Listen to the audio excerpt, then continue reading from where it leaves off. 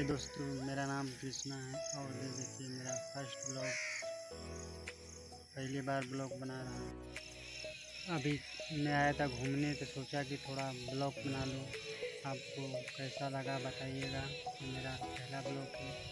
अच्छा लगे तो लाइक सब्सक्राइब कर दीजिए और मुझे सपोर्ट भी कीजिए। दोस्तों, अभी मैं आया था घूमने के लिए तो सोचा कि तो ब्लॉग बना लूँ। आप लोगों को ब्लॉग कैसा लगा आप कमेंट बॉक्स में ज़रूर बताइएगा।